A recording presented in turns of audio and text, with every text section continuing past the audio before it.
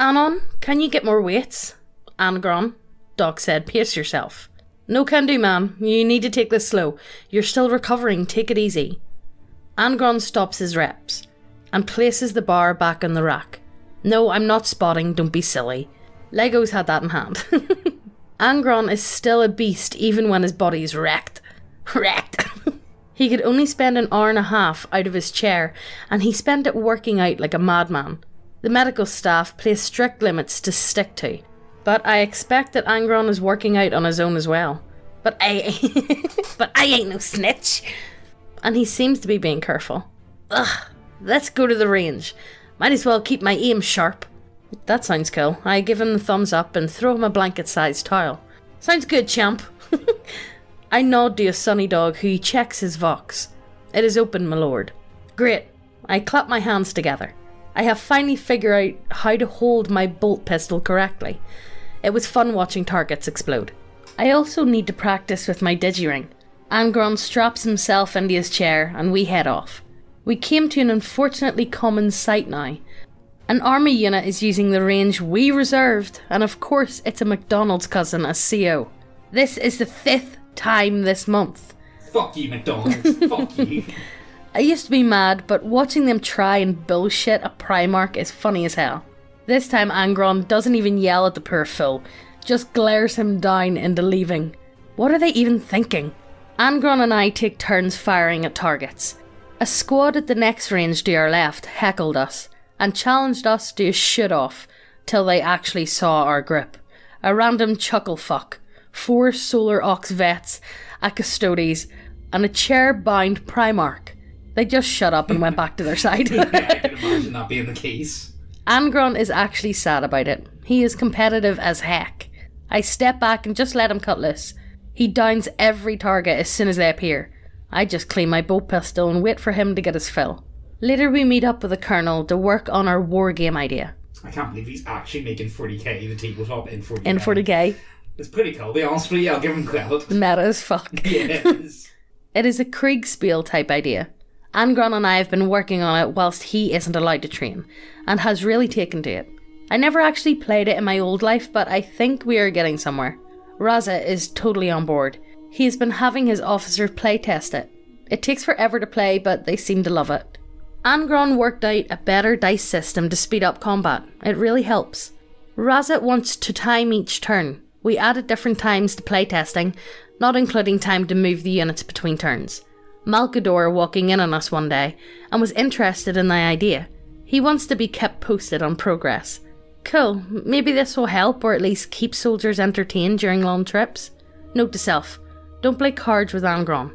Empaths are bullshit. I can't wear my left boot for the rest of the night. Big E buzzed me for a meeting. I, of course, hurried over to our normal spot. I have found the flaw with the Second Legion's gene seed. The containment has been purged and around two thirds of the stock has been saved. Damn, that's great news! What was the issue? The Emperor glares to the side. A cultist managed to recruit a Gene Smith. Your knowledge made us watch closer. He looks at me with an intense look. You have done the Imperium immense service. I feel a bit overwhelmed and nod back at him. I don't even know what to say.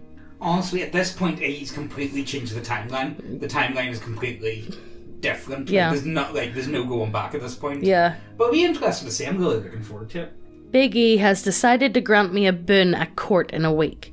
I have to decide beforehand and actually run it by Malkador first. I have no idea what they ask for. What does one even ask of the Emperor? He already provides me with everything I have. I could ask for a planet, but he needs me by for my lore knowledge. Maybe a warrant for after the Crusade. I can't bum off the Emperor forever, can I? What would I even do after the Emperor no longer needs me? I was cleaning my bolt and las pistols in my suite. Lazitz was here, running ideas for our game by me, pacing while doing so. Angron was spending time with the Emperor. Something on your mind, Anon? Razit asks, clearly seeing me not really feeling like working on the game today. The Emperor offered me a boon. I'm utterly lost at what to do. He freezes. Razit and the other Sunny dogs just stare at me. What? What? A boon? Razit seems bewildered by this. What did you do for such an honour? He asks on the edge of his breath.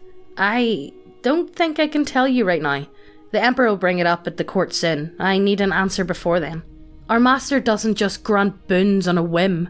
This will cause even more attention to come your way. The noble houses already have no idea how to view you. This is only adding fuel to the fire. I completely forgot they think he's a wee. Cupbearer? Yeah. No, more than a just cupbearer. He's, a, he's the Emperor's fucking lamp boy. I completely forgot about that. Razit has a thousand yard stare going on right now. Should I decline? No! He yelled at me. That will only make things beyond worse. He runs his hand through his short grey hair. Maybe ask for a title, or he stops dead in his tracks. Forget it. I forgot who I was speaking to, Anon. Razit turns back to me and gives me a short bow. Just be yourself and ask for what you will. What the hell was that?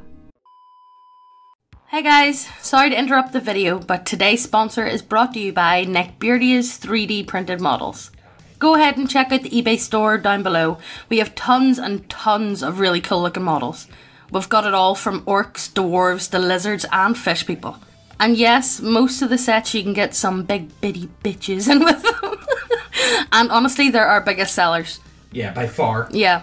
All the models are printed and processed by us, and it is by far the best way to help us out to do what we do. So go ahead and check them out below, and just just look at this lizard lady with titties. She got big. look at the titties. It's weird being on the other side of court now. I walk down the giant hall overflowing with nobles and support staff. I've been here plenty of times now, but at the Big E's left while holding a big ass gold cup. I have a full honour guard as I walk towards the Emperor and Malkador. Twenty sunny dogs on each side of me, fully kitted out. Raza and his officers are in dress uniform and follow just behind me. I try my best to remain calm. Thankfully, my training back home covered keeping a straight face. Legos kinda just appeared in front of me a third of the way to the Emperor's raised platform. This is the part things get weird. We finish our approach and my grip kneels to the Emperor. I just lower my head towards the Emperor. I can hear the gasps. I fear the nobles stare at me. I have just committed a huge breach of etiquette. However, I fully trust Malkador, and he told me not to kneel. I assume he has a plan. Whatever, he is far smarter than me. Big E doesn't miss a beat, and gestures for me to approach. Another oddity. Nobody is ever asked to walk up the platform. Anon, you have done the Imperium as a whole and my household enormous service. Two of my sons have been returned to me. One's life owed to that. That alone should see you rewarded. However, you also prevented sabotage of the Second Legion Astartes, preventing untold damage to said legion, but preventing the loss of progress from said legion as well. I would offer you a boon for your service. If it's within my power, you shall have it. I just nod, and I have talked this through with Malkador, worked through things the Big E won't accept. No warrant, as cool as that would be. The Emperor needed me close by. No Luther tier augmentation. I would be useless for a long ass time. He needed my lore. Nothing silly like a harem. That would just be insulting. I couldn't think of anything I wanted that the Big E would actually grant me, that he hadn't already provided me. So I went with spite. I would like my homeworld renamed Anon's World. That would piss off the nobles back home. My father would be livid at the disrespect. That would be all funnier. Cause fuck him for disowning me. The Big E just laughs. That is a good one. It's on me. Would you like anything else? I just answer on the spot. Can I get better armour? The carapace is nice, but I would feel safer with higher tier armour. Done.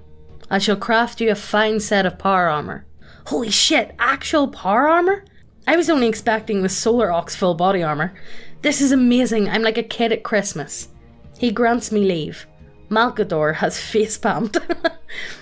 I walk out with a skip in my step. I'm getting power armour. Razit, Angron, and I are still working on our war game. Angron is doing a lot better. He no longer needs his chair and gets around with a cane. At this rate, he should be able to start his trials in a year or so. It has been two months since I asked for my bin. Emps is still working on my armour. Guilliman is set to finish his trials and start his proper lessons under the Emperor. I suspect the plan is to then send G Man to fight alongside Russ to get the experience. Russ has officially requested I join him as an advisor. Malkador says I would leave before G Man if the Emperor accepts Russ's request. I'm nervous about actually going to the front of the crusade. I know I would be insanely protected, but still. In other news, Horus sent me another letter. he was approached by Eldrad, who wants to talk to me. That has me worried. What has the Farseer seen of me, or have I just thrown his visions into whack? If I do go see Eldrad, I will offer him the Soul Stones. Solomon sent me as a sort of peace offering. I still don't know what happened with that, other than they offended the second Primarch. And we are a print. Angron, Razitz, and I have our name on the manuals, and I even did a signed copy for a rogue trader at the minor feast. Angron wasn't interested in signing his book. Mal joins us for the first official game tournament. I got my teeth kicked in by Malkador in the first round. Razit managed to give Angron a fight, but it ended bitterly as Razitz refused to yield till he was kicked fully off the board. Mal won, but it was close. Angron yielded after seeing he was caught. It was fun. The game will be issued to army ships over time. Hope the troops like it. The Emperor decided to grant Leman Russ his request for my aid. I leave once my armour is finished. I am honestly hyped. I walk with Mal down a dark hall deep in the palace. Thanks for helping me ID this artifact and on. It has weighed on me for some time. No problem, I'm here to help. It feels weird to travel without the Sunny Dogs now. They didn't have Mal's clearance on whatever it was he wanted to show me. We travelled pretty far down, past a bunch of relics. I'm sure I saw a Mars rover. Do the tech priests know he has that? Above my pay grade. Right this way, Mal gestured towards a sealed room. Wear those gloves on the side. The relic is fragile. Will do. We enter an airlock, get scanned by something, then we're in. Malkador walks over to a desk in the middle of the room. The room is really low light. Is it a book? It has seen better days, but it seems well maintained for how old it might be. Mal hands me a lens that I can see in the dark, and I inspect the book. I'm pretty sure this is Moby Dick, but it is either in Spanish or Portuguese, which I can't read. Mal was happy to know I knew the book, but was bummed that I can't actually read it for him. I was hoping it was a history text, but this is still a great relic. I will see about having it translated, now that we know that it isn't dangerous. Glad to have helped out. This is a classic. We left to head back up. Angron is going to undergo his next stage of operations. I won't see the guy for a while. We have become good friends, spending almost every day together. It would be weird not seeing him. Before he went back to the med bay, we exchanged gifts. I made a ring from silver, just silver wire I fused together and pressed my cupbearer logo in. He gave me a badass looking chain to wrap around one of my arms. It was for my power armor. He asked me to only wear it if I was going into combat. It totally blew my ring out of the water. Each link was hand forged. I was touched. We said our farewells and he was off. Razit had one of his officers run me through training courses. They were like the one Roxy team put me through, but worse. And I would get hit by a stun button if I slowed down. Why did I agree to this? Oh, right, I'm going to join Russ and his wolves in the crusade. I crossed the finish for the course for the whatever time today.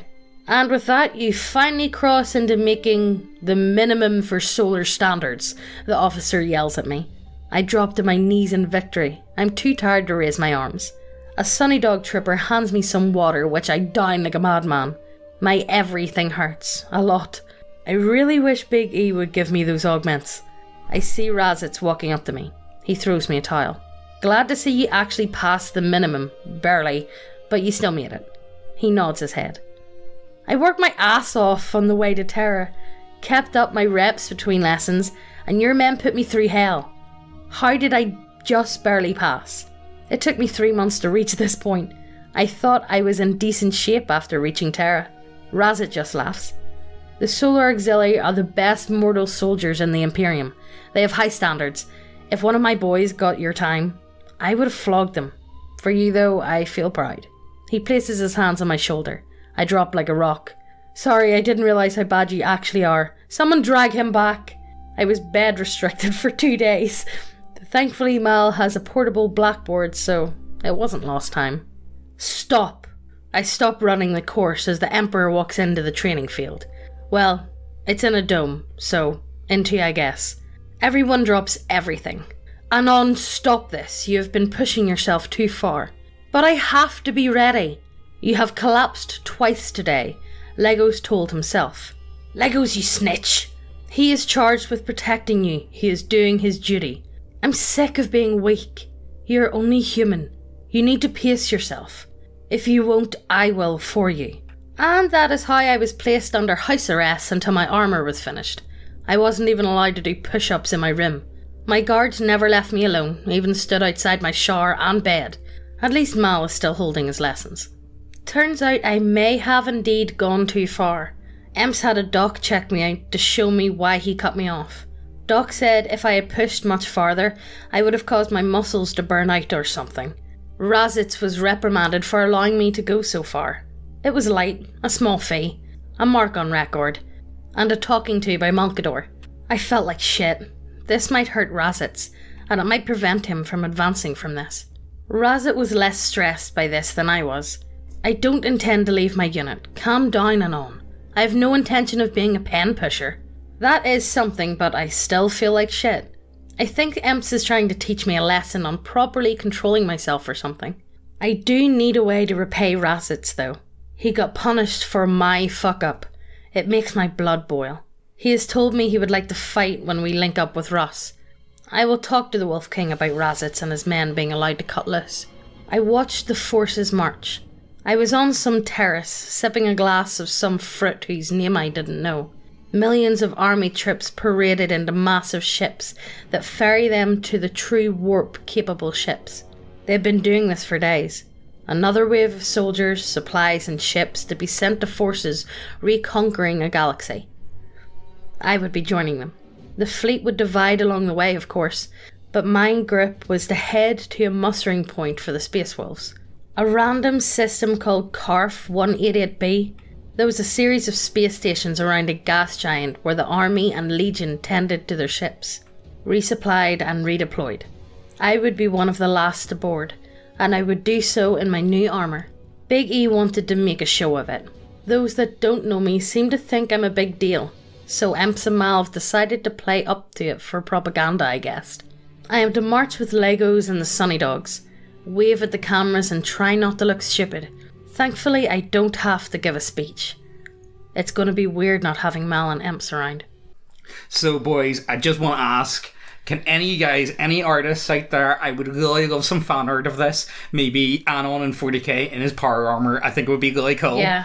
I would think it would be really cool. So if any of you guys are like, you know, half decent at it, Yeah. post it on into the Also, subreddit. also, what do you guys think Emps is actually going to do whenever he has no use for him anymore? I think he's going to kill him, but he did make him a perpetual, so he's in, essentially immortal. Yeah. However, the emperor can give that Can to someone. Can he just it buy? Can he giveth and taketh away? like you know, like he did it with the with the Thunder Warriors. So the idea of him maybe after the Great Crusade. Because he won't have any new information and he can only be used by chaos. Yeah. So to me, I think there's a high chance that I think he will die.